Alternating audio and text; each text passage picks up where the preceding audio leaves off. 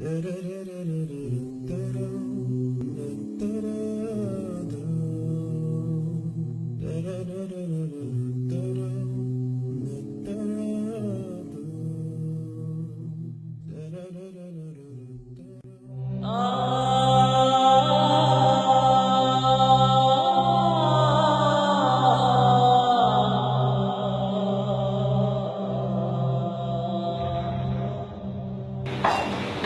الرحمن الرحيم الحمد لله والصلاة والسلام على رسول الله وعلى آله وصحبه أجمعين Heute das erste Mal Dawa in der Shisha Bar, Alhamdulillah. Ich finde das ehrlich gesagt cool. Wir haben das schon mal einmal gemacht. Dawa in der Dönerbude haben wir schon gemacht. Wohnungsdawa. Überall. Weil der Ruf Allahs überall zu hören sein soll. Ja. Und das ist unser Ziel. Und das ist so schön. Ja, die Behörden, die haben uns überall die Wege zugemacht. Ja. Die Moscheen eingeschüchtert. Schön Ängste verbreitet. Und dann, wenn wir, wenn wir nicht über den Hund kommen, kommen wir halt ja, über den Stetz vom Hund.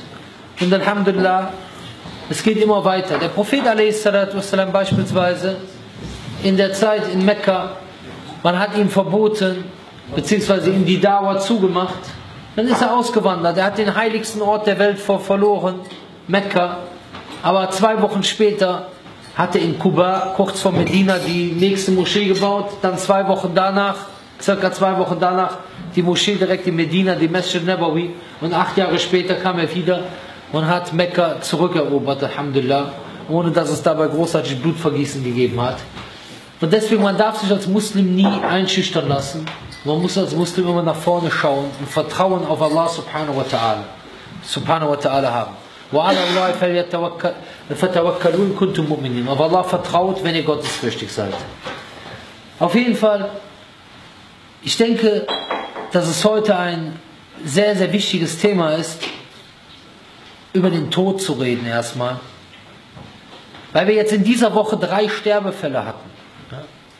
Und ein Sterbefall davon ist sogar ein sehr junger Mann, zumindest relativ junger Mann, mit 37 Jahren gestorben. Alhamdulillah, alle drei ja, waren praktizierend. Alhamdulillah. Der, der 37-Jährige hat mir gesagt, dass er jetzt schon seit längerer Zeit am Beten war. Dann der Vater von Bushido, dass, dass er halt jetzt, das letzte, was er praktisch gemacht hat, war, dass er das Gebet verrichtet hat, dass er das Durgebet gemacht hat und kurz danach gestorben ist. Und natürlich Abu Nasser, Rahimahumullah, möge Allah sich ihn allen erbarmen, ja, war sowieso äh, praktizierend gewesen, Alhamdulillah. Und das ist natürlich etwas, was uns besonders viel Freude macht und gerade für mich, als jemand, dessen Eltern den Islam noch nicht angenommen haben, ne, da mache ich mir natürlich Gedanken drüber. Mach Dua für meinen Vater, für meine Mutter. Denn ich muss ganz ehrlich sagen, ich habe meine Eltern extrem viel zu verdanken. Und als Sohn fällt es einem vielleicht gerade manchmal schwer. Vielleicht könnt ihr euch das selber vorstellen, dem Vater sozusagen, ja, guck mal, mach das so oder mach das so. Ja, also mir fällt das eigentlich mit allen Leuten leicht Klartext zu reden, ja, außer jetzt mit meinem Vater, weil, weil das irgendwie anders ist. Und das ist auch übrigens ein Grund, warum ich Videos mache. Das wissen viele nicht. Ich mache Videos, weil ich weiß, dass meine Familie sich das auch alles anguckt. Deswegen hier, schon mal, ihr werdet das bestimmt sehen. Ja. Und ich muss ganz ehrlich sagen, subhanallah, ich habe meinen Eltern so viel zu verdanken, in meinem ganzen Leben. Ich meine, die haben sich jetzt mit der Religion, ja natürlich vom Islam gar keine Ahnung gehabt, so wie sie aufgewachsen sind. Aber da, da die immer hinter mir standen, ja, immer hinter mir standen, sei es in der Schule, sei es mit dem Sport. Ja. Mein Vater, wenn ich mit der Nationalmannschaft, ich bin mit der Nationalmannschaft nach, na, damals, als ich in der Junioren-Nationalmannschaft war, Junioren-Nationalmannschaft ist heute Jugend beim Boxen. Ja. Früher war das andersrum, das heißt also U19. Das nur mal für Wikipedia, weil ihr habt geschrieben, ich bin bei U16 deutscher Meister geworden, nein, nein, bei U19. Das ist, weil sich die Altersklassen geändert haben. Deswegen könnt ihr bei Wikipedia umändern. Und ich bin zum Beispiel nach, nach, äh, zum Balaton-Turnier gefahren in, in Ungarn, zum, Al, zum Turnier in Algero, nach Italien. Überall war mein Vater immer mit dabei gewesen. Ja. Die haben mich immer gefördert und natürlich wünscht man sich da besonders, dass, dass äh, dass die den Islam annehmen. Weißt du? Ich weiß, wenn ich jetzt irgendwie Probleme hätte oder so, ja, ich würde einmal anrufen, ich weiß sofort, mein Vater würde sich ins Flugzeug setzen und würde nach Berlin kommen. Ja? Wenn, wenn, wenn die mir irgendwie helfen müssten. Damals habe ich das Auto zu Schrott gefahren hier in Berlin, da kamen, kamen meine Eltern, haben mir dabei geholfen. Ja? Das war auch so eine Aktion gewesen, so ein richtig unnötiger Unfall, naja, ist egal. Aber auf jeden Fall, Alhamdulillah, sind diese drei Brüder als Muslime gestorben. Möge Allah sich ihnen erbarmen, möge Allah sie ins Paradies führen. Aber das führt uns zum nächsten Thema. Ja? Wir können nichts mehr für sie machen, außer dass wir Dua für sie machen Dass wir Dua für sie machen, dass wir Allah darum bitten, dass er ihnen vergibt. Oder beispielsweise andere gute Taten, die sie vorhatten, wie zum Beispiel Hajj etc., Umrah etc. Aber wir können für sie nicht viel machen. Wichtig ist, was können wir für uns machen. Und der Prophet والسلام, der hat einen Ausspruch gesagt, al-maut. Gedenket viel dem Genusszerstörer, dem Tod. Gedenkt viel dem Tod. Und Allah subhanahu wa ta'ala sagt im Koran, Kullu nafsin maut. Jede Seele wird den Tod kosten. Der eine oder andere wird vielleicht sagen, wofür brauchen wir diese Information? Das weiß sowieso jeder, dass er sterben wird, oder? Aber Allah weiß, dass wir diese Ermahnung brauchen, dass wir immer wieder daran erinnert werden müssen. Ihr seht es selber, denn viele Muslime, selbst viele Muslime leben so, als wenn sie ewig leben würden. Und sie leben so wie, ja, der Tod wird schon, ich bin noch jung, wird schon nichts passieren. Fakt ist, keiner, der hier sitzt, keiner, der hier sitzt, nicht ich, nicht du, nicht du, nicht du, keiner, der hier sitzt, weiß, ob er morgen um diese Uhrzeit noch lebt. Keiner, der hier sitzt, weiß, ob er in fünf Minuten noch lebt. Es könnte theoretisch sein, dass das Haus hier in die Luft fliegt. Möge Allah uns bewahren. Was ich damit sagen will, ist, man schiebt das immer so weit vor sich hin, weil das ist das erste Problem. Wenn ich jetzt frage, jeder weiß, er wird irgendwann sterben. Und jeder weiß, er wird irgendwann zur Verantwortung gezogen werden. Es gibt das Paradies oder die Hölle.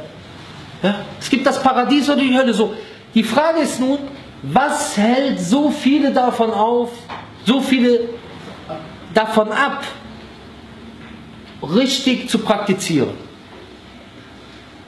Was ist das Hindernis? Und ihr wisst es selber. Unwissen. Ihr wisst es selber. Wie viele Muslime gibt es da draußen, ja, die das wissen, ja, nicht unwissen, sondern die wissen, sie werden irgendwann sterben. Und wenn du ihnen sagst, hast du eine Garantie, morgen zu sterben, dass du morgen noch lebst, sagt er, nee, nicht unbedingt. Er weiß das. Aber trotz, und er weiß, irgendwann geht es entweder ins Paradies oder entweder in die Hölle. So, was ist das, was ihn aufhält? Und da gibt es mehrere Gründe. Erstens, was ich gerade schon erwähnt habe, es ist dieses, ich stelle diese Frage nur, damit ihr euch die selber darüber Gedanken macht. Ja, erstmal. Eine Sache ist, dass man wirklich denkt, ich lebe, ich bin jung, ja, ich lebe noch lange und irgendwann, wenn ich dann 265 Jahre alt bin, dann mache ich dann die Hatsch. Wenn ich die Hatsch gemacht habe, da sind alle Sünden vergeben. So nach dem Motto, so denken also natürlich 265 Jahre ist jetzt übertrieben, klar. Aber so ungefähr schiebt man das vor sich her. Irgendwann fange ich mal an. Wenn ich verheiratet bin, dann ziehe ich Hijab an. Wenn ich ähm, in Rente bin, dann mache ich die Hajj. Wenn ich 40 Jahre alt bin, dann fange ich an mit dem Gebet. Immer weiter schiebt man die Sachen vor sich hin und man geht immer weiter das Risiko ein, dass der Tod einen erwischt. Es könnte sein, dass einer von euch, möge Allah euch alle beschützen, einer von euch heute nach Hause fährt und auf dem Weg nach Hause fährt er bei Grün über die Ampel und ein anderes, ein, ein anderes Auto, dein Lastwagen, fährt bei Rot über die Ampel und erwischt dich volle Pulle. Es könnte sein, auf der Stadtautobahn oder wo auch immer, wo du fährst.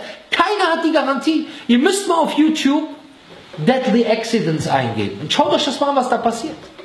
Da fährt einer auf der Autobahn, auf der Autobahn ganz normal auf der Überholspur und auf einmal von der Gegenfahrbahn bricht ein LKW aus, durch die Leitplanken durch und erwischt ihn. Da hast du keine Chance. Da bleibt von dir nur noch Matsch übrig. Die brauchen drei Tage, um dich zu identifizieren, wenn du keinen Pass dabei hast. Es ist so. Deswegen, keiner hat eine Garantie. Keiner hat eine Garantie. Das muss man erstmal, dieses Bewusstsein muss erstmal jeder haben. Keiner hat die Garantie, dass er morgen noch lebt. So. Jetzt, das nächste Problem, was hier besteht, ist, dass die Menschen nicht wirklich die Natur der Sünde verstehen.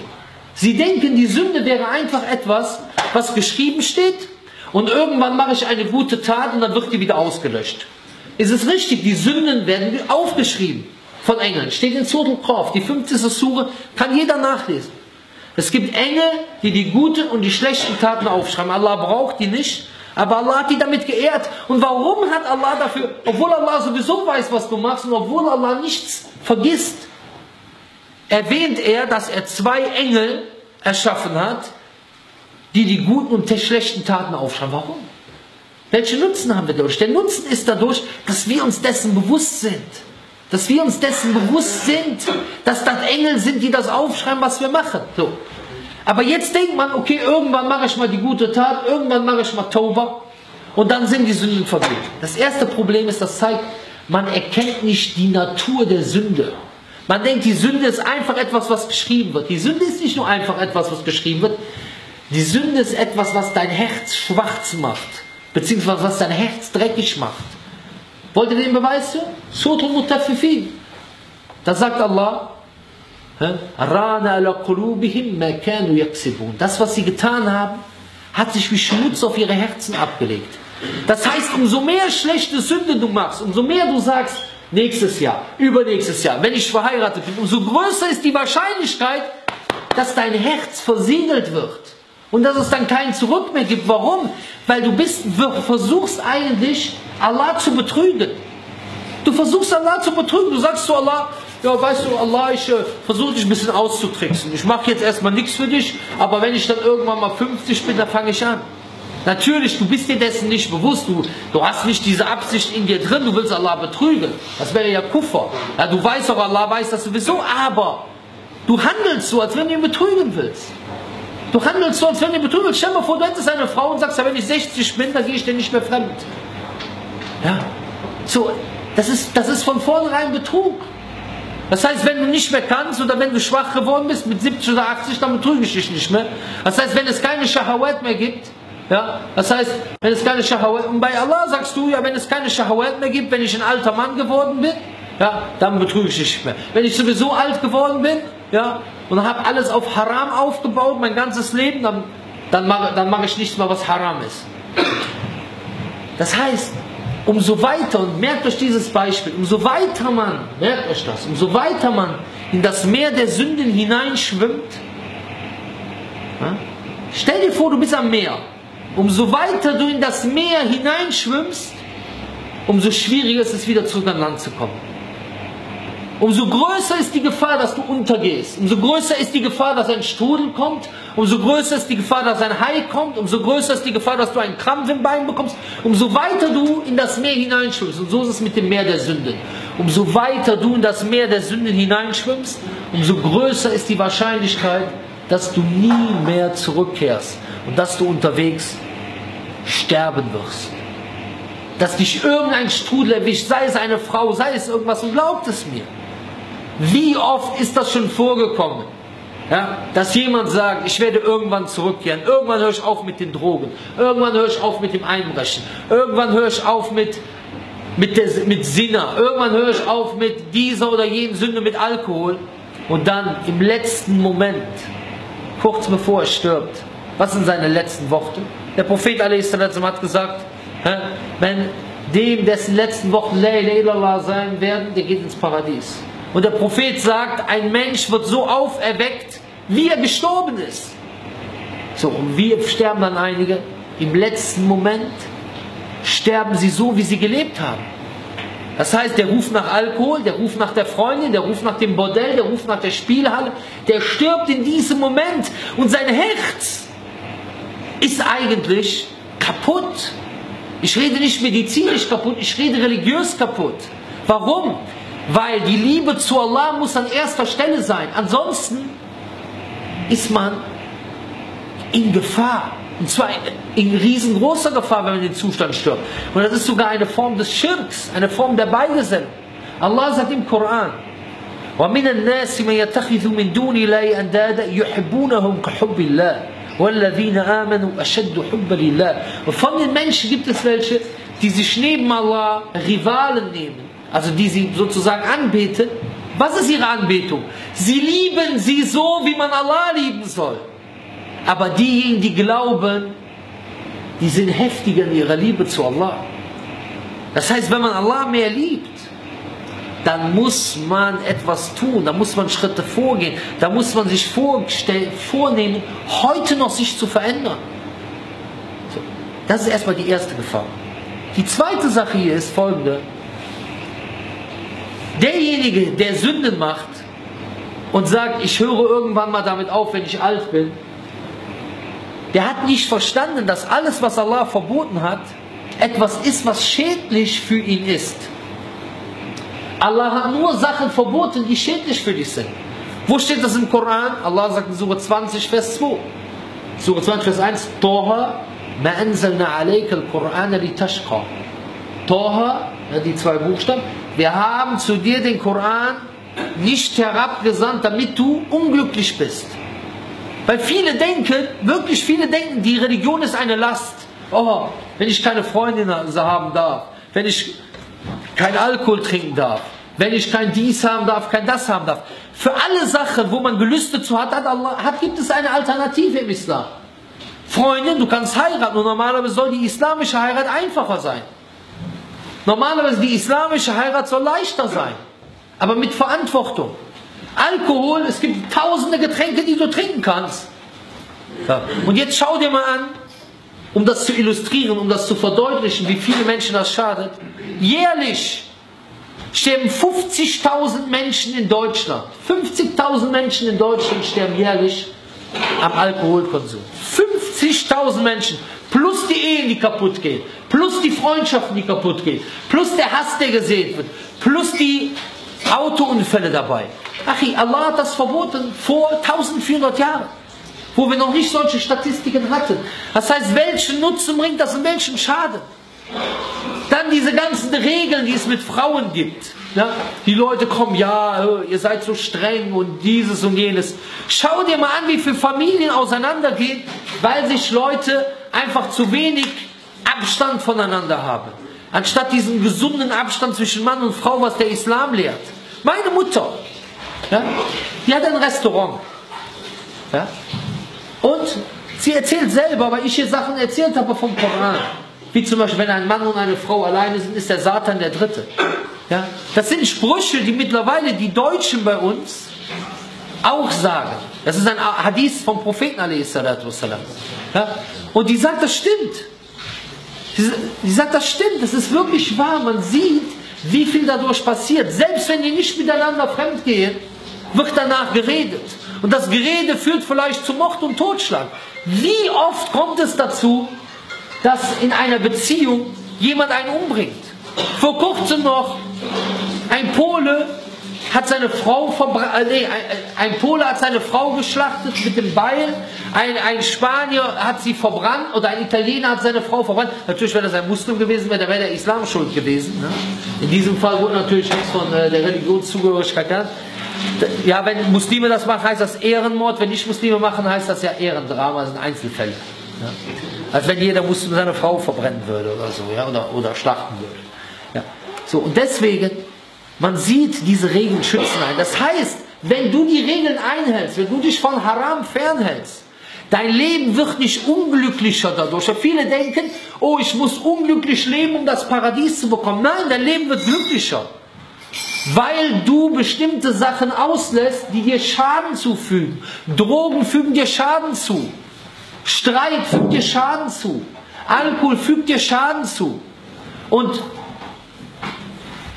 Reden wir mal über Sinne, über Unzucht. Ja? Es wird immer erzählt, ja, man muss erstmal vorher ausprobieren und hin und her und kreuz und quer sich die Hörner abstoßen. Schauen wir mal an, ob das die Gesellschaft gesund gemacht hat. Oder in Deutschland durch diese ganze Ideologie der Selbstverwirklichung, da redet aber kein Mensch drüber. Das ist eine größere Krise als die Flüchtlingskrise und eine größere Krise als die Ölkrise und die Wasserkrise und die Klimaerwärmung ist Demo, die Demografie in Deutschland, das heißt die Bevölkerungsentwicklung. Dadurch, durch diese Ideologie der Selbstverwirklichung, gehen die Familien kaputt. Jede Familie besteht aus vier Personen. Vater, Mutter, Kind und Wellensittich. Ja, das ist die Familie und so wird das in 20, 30 Jahren, wird die Gesellschaft auseinanderbrechen. Das sind nicht meine Worte, das sind Worte von Experten. So, aber warum funktioniert das nicht? Warum sind Leute nicht verheiratet? Weil es einfach nicht gefördert wird. Und weil einfach Leute zu viel erlebt haben. Und es gibt hier eine Studie, eine empirische Studie von Klaus Feldmann. In Soziologie Kompakt wird das erwähnt. Dass die rationale, das heißt die logische Annahme, die rationale Annahme, dass derjenige, der einen Partner vor der Ehe einige Zeit testet, die Scheidung eher verhindern könnte, nicht bestätigt wurde, sondern dass genau das Gegenteil der Fall ist. Weil das ist ja diese, dieses Scheinargument. Das heißt, jede Regel, die man für Allah macht, ist für deinen eigenen Nutzen. Und zusätzlich zu dem Nutzen, den man offensichtlich sieht, kommt der Nutzen in deinem Herzen. Weil wo ist die Glückseligkeit zu sehen? Ist die Glückseligkeit auf dem, auf dem Konto zu sehen? Ich habe heute noch mit einem Millionär gesprochen. Heute noch mit einem Millionär gesprochen. Was hat er gesagt? Geld bedeutet mir nichts. Geld macht nicht glücklich. Das hat er selber gesagt. Wie oft erlebst du es, dass Leute, die Ruhm, Geld, Macht haben, Selbstmord begehen? Das beste Beispiel ist Robert Enke in Deutschland. Nationaltorhüter. Überleg mal. Nationaltorhüter. Nationaltorhüter. Robert Enke, Nationaltorhüter. Wenn du heutzutage fragst in dem Kindergarten, welche, was ist dein Lieblingsberuf, was ist dein Traumberuf? 50% der Jungs sagen Profifußballer. Stimmt da habe ich recht. Poesiealbum. Ich will mal Profifußballer werden. So. Er hat das nicht nur als Profifußballer geschafft, er war sogar im Nationalteam gewesen. Und was hat er am Ende gemacht? Selbstmord. Whitney Houston, heroinabhängig. Britney Spears, Selbstmordversuche. Ja? Mariah Carey, Selbstmordversuche. Das, das komplette Programm, du siehst fast alle diese Stars, zu denen man aufschaut, wenn man jugendlich ist, haben Probleme mit ihrem eigenen Leben. Was zeigt uns das? Das zeigt uns, diese Sache, nach denen man strebt, können, guck mal, das ist wie ein Zeichen von Allah, sind nicht zwangsläufig die Dinge, die einen glücklich machen. Das heißt nicht, dass man kein Geld verdienen darf. Aber das heißt, dass das Geld selber nicht dein Ziel sein soll. Wenn, das Geld selber dein Ziel ist, dann wirst du eventuell, wird das eventuell dazu führen, dass du alles dafür tust, dass das Geld dein neuer Gott wird und dass du Dinge machst, die nicht islamisch erlaubt sind. Das heißt, du übertrittst für das Geld die Gesetze Allah subhanahu wa ta'ala. Und das ist eine gefährliche Sache, die einen am Ende richtig kaputt machen kann. Die einen am Ende richtig kaputt machen kann. Der Prophet redet davon. Taisa abdu dinar, Taisa abdu dirham. Sozusagen unglücklich ist der Diener des Dirhams, ist der Diener des Dinars. Und er nennt den Abd, Diener. Das ist, als wenn er den anbetet. Es gibt Leute, die beten das Geld an. Heutzutage, die Götter sind nicht unbedingt Hubel, Lat, Al-Uzza, Manat oder dass Leute Jesus Christus anbeten oder äh, Maria oder, oder Buddha, sondern auch, dass Leute das Geld anbeten, dass das Geld für sie wichtiger wird als Allah subhanahu wa ta'ala. Das sind Sachen, die es heute gibt, dass Leute Frauen anbeten. Die Frauen sind wichtiger für ihn als Allah, die Party ist wichtiger. Und das ist sehr gefährlich. Und so wird man stufenweise in die Irre geführt. So. Das heißt, alles, was man für Allah macht, ist gut für einen. Dann eine andere Sache. Für diejenigen, die sagen, ich fange irgendwann mal an. Und ich möchte, dass ihr diese Worte selber zu Herzen nimmt. Ich kenne euch natürlich nicht alle. Ich gehe davon aus, ihr seid alle Leute, die die Religion lieben. Deswegen sitzt ihr heute hier. Aber ihr könnt diese Beispiele, die ich euch nenne, mit rausnehmen und Leuten darüber erzählen. Ja, weil ihr kennt garantiert Jugendliche Muslime, die drogenabhängig sind, jugendliche Muslime, die jede Woche eine andere Freundin haben, jugendliche Muslime, die vielleicht äh, äh, Zuhälter sind oder was auch immer und, und, und krumme Geschäfte überall machen. Ja? Und Leute, ich möchte, ich liebe euch alle für Allah. Und ich möchte, ich, ich wünsche mir, dass sich etwas verbessert. Ich wünsche mir, dass hier in Berlin-Neukölln, dass irgendwann nicht mehr steht im Internet irgendwelche Natürlich, die werden sowieso immer irgendwelche Lügen erzählen, immer alles verdrehen und, und, und äh, vergrößern, die machen das immer wie so ein Luftballon. Ja? Aber ich will, dass die Leute, die nach Neukölln kommen, auch wenn die Medien vielleicht weiter so einen Schrott schreiben, dass sie sagen, hör mal, ich war da gewesen, ich habe die arabischen Jugendlichen gesehen, ja, von diesen berühmt, berüchtigt, gefährlichen Leuten und so weiter.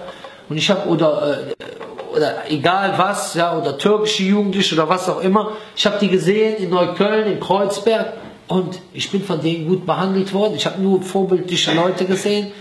Ja, weil das ist der erste Schritt. Wisst ihr, wie viele Leute vielleicht im Nachhinein noch eine bessere Meinung über den Islam bekommen? Das heißt nicht, dass jeder, der eine schlechte Meinung über den Islam hat, nur eine schlechte Meinung hat, weil der Islam falsch dargestellt wurde. Nicht, dass man mich falsch versteht.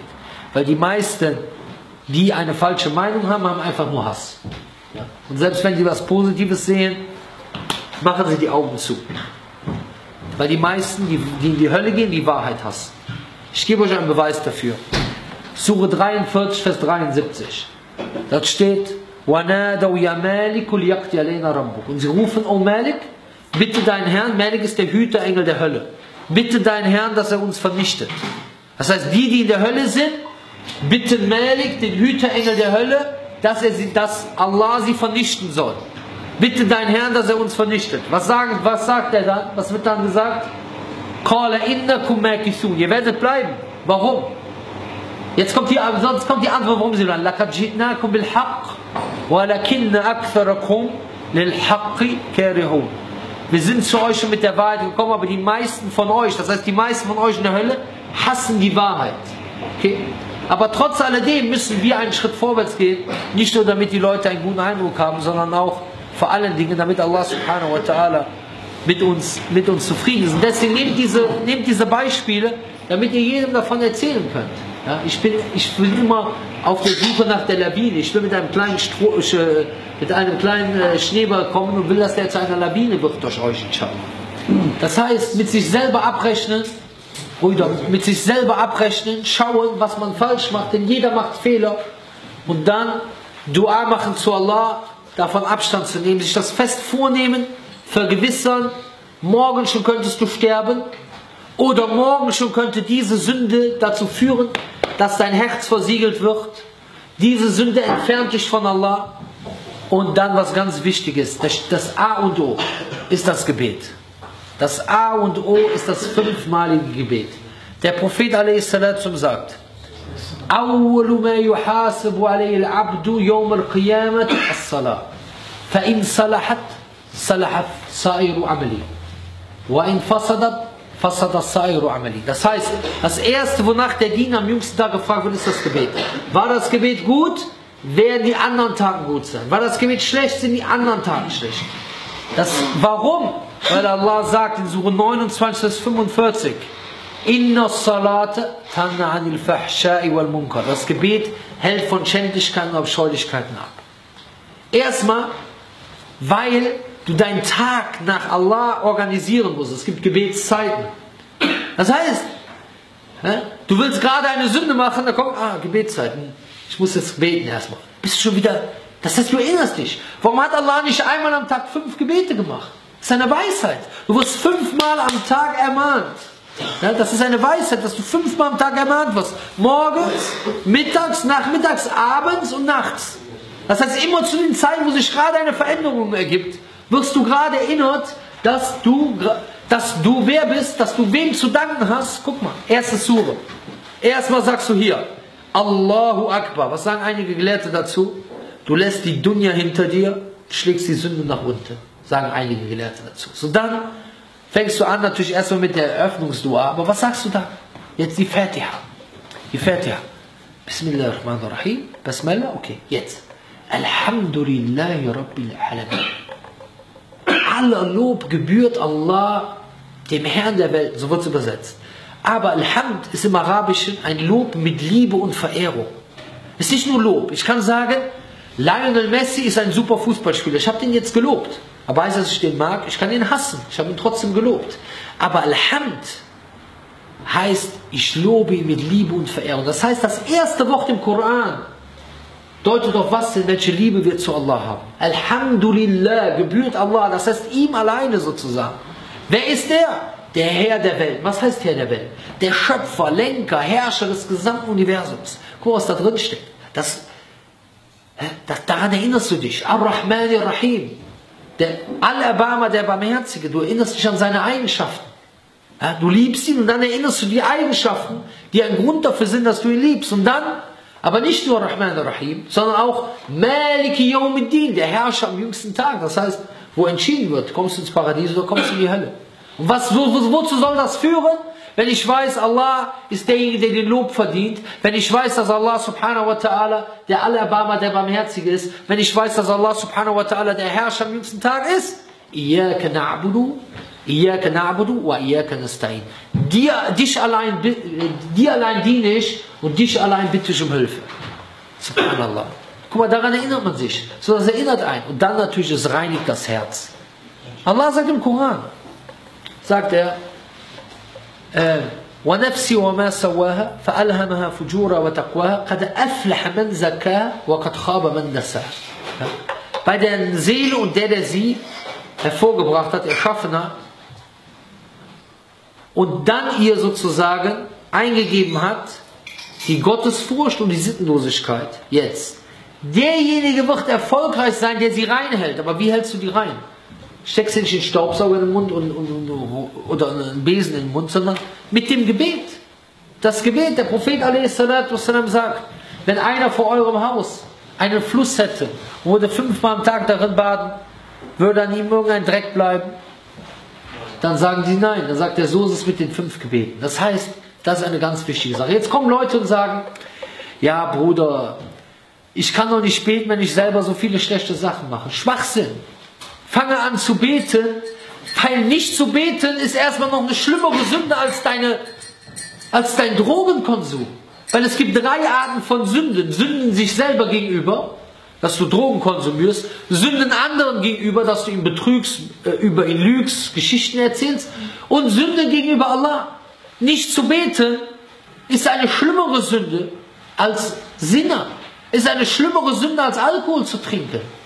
Das heißt, sagst du jetzt, weil ich die Bank überfallen habe, gehe ich jetzt auch die Frau vergewaltigen? Verstehst du? Das ist ja totaler Quatsch. Ja, weil wenn du eine schlechte Tat hast, machst du ja nicht noch zehn andere schlechte Taten. Das heißt, sagst du jetzt, weil ich eine schlechte Tat habe, mache ich jetzt noch fünf andere schlechte Taten am Tag? Nein sondern du machst die fünf guten Taten am Tag, damit du von der schlechten Tat wegkommst. Warum? Wie ich eben gesagt habe, Inna salata tana anil fahshai wal munkar. Das Gebet hält von Schändlichkeiten und Abscheulichkeiten ab. Und ich sage es euch ganz ehrlich, guck mal, wie ich angefangen habe mit dem Islam. Ja? Am Anfang kannte ich bestimmte Regeln nicht. Ich wusste, man darf keine Unzucht begehen, ich wusste, man darf keinen Alkohol trinken, aber ich wusste zum Beispiel nicht, dass bestimmte Geflogenheiten, wie man sich gibt, zum Beispiel wo man hingeht nachts und so, dass das auch nicht vom Islam ist. Und dann habe ich angefangen mit dem Gebet, auf einmal bin ich nachts unterwegs und da kommt dann 5 Uhr morgens Gebetszeit. Und irgendwie fühlst du dich dann gar nicht mehr wohl. Ja, wenn, du dann, was weiß ich hier, äh, in der Disco auf der Tanzsäule am Stehen bist, ja? So, so, nach, so nach dem Motto jetzt übertrieben gesagt. Versteht ihr? Ich will euch das sagen, damit ihr das versteht. Ich wusste damals bestimmte Sachen nicht, weil ich war ganz neu im Islam gewesen. Jetzt gerade im ersten Jahr. Aber so holt einem das Gebet das ab. Dann sagen andere, ja, ich habe keine Zeit fürs Gebet. Subhanallah, du hast keine Zeit. Guck dir mal die Gebetszeiten an, du hast Zeit. Jeder findet die Zeit. Ach, das Gebet ist ja kein Akt von einer halben Stunde. Du hast Zeit, in McFit zu gehen. Du hast Zeit, rumzulabern. Du hast Zeit, Fußball zu gucken. Du hast Zeit für alles. Nur nicht fürs Gebet. Ja, mein Arbeitgeber. Frag den Arbeitgeber mal, ob du bei dir auf der Arbeit beten kannst. So. Dann guckst du mit ihm nach der Gebetszeit. Die Gebet ist ja nicht so, als wenn du direkt zur Gebet zur ersten Zeit beten musst. Es ist gut, wenn du zur ersten Zeit beten musst, aber du hast eine Zeitspanne. Dhuhr ist von Dhuhr bis Asa beispielsweise.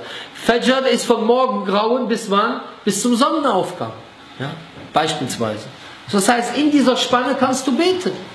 Und wenn du auf der Arbeit bist und zum Beispiel, du hast genau die Zeit, kurz vor Ende von Dhuhr, hast du deine Pause, dann betest du Dhuhr am Ende der Zeit und betest dann direkt danach Asr. Also das Mittagsgebet, dann das Nachmittagsgebet, das kann man alles schaffen. Man muss sich nur informieren. Dann, äh, dann gibt es dann den Spruch noch, besser gar nicht zu beten, als zu beten und wieder aufzuhören. Wer sagt das? Vielleicht betest du heute und stirbst. Außerdem fängst du nicht an zu beten und wieder aufzuhören. Wer sagt das? Wo steht das? Okay, jede gute Tat, haben wir gesagt, wird aufgeschrieben, oder? Ja. Weiß jeder. Jede gute Tat wird aufgeschrieben. Jede schlechte Tat wird aufgeschrieben. Zu beten ist das eine gute Tat oder eine schlechte Tat? Eine gute Tat. Nicht zu beten ist das eine schlechte Tat? Ja, ist eine schlechte Tat. So. Das heißt, wenn du in deinem Leben zehnmal gebetet hast, hast du mehr gute Taten, als wenn du nur fünfmal gebetet hast, oder? Das heißt besser, aber das ist der Scheitan. Ja, komm, fang besser nicht an, sonst hörst du vielleicht später wieder auf. Was ist schlimmer als nicht zu beten? Brüder, es gibt Leute, die sagen, nicht zu beten führt für Ewigkeit in die Hölle. Und ich gebe euch Beweise dafür aus dem Koran. Ich gebe euch Beweise dafür aus dem Koran. Sura 9, Vers 11. Dort sagt Allah, فَإِن تَابُوا وَأَقَامُوا الصَّلَاةَ وَآتَوْا الزَّكَاةَ فَإِخْوَانُكُمْ فِي دِينِ Wenn sie aber Tauba machen, das heißt die Mushrikun, die Götzendiener, und das Gebet verrichten und die Zakah geben, فَإِخْوَانُكُمْ فِي دِينِ Dann sind sie eure Brüder im Glauben. Jeder von euch kann das zu Hause nachschauen. Sura 9, Vers 11. Deswegen sagen einige Gelehrte, wer nicht betet, gehört nicht zu den Muslimen. Er hat, er kann nicht die Liebe im Herzen haben. Ich sage das nicht. Ich will nur damit sagen, es gibt einige Gelehrte, die das sagen und man sollte auf Nummer sicher gehen. Ja? Allah sagt im Koran, in Surah 74, Surah Mudathir, zu denen in der Hölle wird gesagt, was hat euch in die Sakar reingebracht? Ein Name der Hölle. Was ist ihre Antwort? Die erste Antwort, Lem Wir gehören nicht zu den Betenden. Das heißt, das ist die erste Antwort, die hier erwähnt wird. Warum, warum, nennt Allah dies als erste Antwort, um uns aufmerksam zu machen? Suratul Mursalat, 77 Surah des Korans. Zehn oder elf Mal wird erwähnt, wer an jenem Tag den Verleugnern. Wer verleugnet die Ungläubigen? Und dann wird das Paradies beschrieben und die Hölle äh, beschrieben. Und immer wieder, weh an jedem Tag den Leugnern, weh an jedem Tag den Leugnern. Und dann wird eine einzige Tat erwähnt von den Leugnern. Wenn sie ihnen gesagt wird, verneigt euch, also macht Rukur, also das Gebet, dann haben sie sich nicht verneigt. Der Prophet a.s. sagt, zwischen dem Mann und dem Schirk und Kuffer liegt die Unterlassung des Gebets. Und deswegen nehmt diese Beweise für die, die beten und versucht sie zu animieren. Damit wir, wie gesagt, wie ein Schneeball sind. Ja, weil das Gebet ist das A und O. Sei es in eurer, weil leider traurigerweise, ihr wisst es selber, ich brauche es euch nicht zu erzählen, wie viel Prozent der Muslime beten nicht fünfmal Tag. Das ist leider viel zu viel. Und deswegen, Alhamdulillah, wie gesagt, das ist meine kurze Rede, inshallah. Machen wir erstmal ein bisschen Pause, wenn ihr Bock habt, machen wir gleich noch ein bisschen weiter. Inshallah. Dann rede ich vielleicht etwas über Beweise vom Islam. Das heißt, dass es einen Gott gibt, dass dieser Gott einer ist, dass der Prophet ein Prophet ist und dass der Koran das Wort Allahs ist, wenn ihr Lust habt, inshallah, und wenn ihr Zeit habt. Aber inshallah, schaut mal, ihr könnt auch noch etwas tun für diese Botschaft, indem ihr zum Beispiel solche Videos teilt, verteilt auf den Facebook-Seiten. Ja? Wie oft haben wir es schon erlebt, irgendjemand ist dann dadurch zum Islam gekommen, weil ihm irgendjemand ein Video geschickt hat. Einmal bei einem Vortrag kam ein 43-jähriger Mann, der hat den Islam angenommen. Und da hat er erzählt, wie es dazu gekommen ist.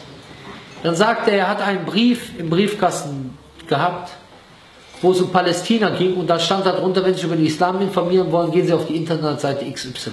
Hat er sich die Vorträge angeguckt und ist dann zum Islam gekommen. Einmal hat ein Bruder erzählt, einmal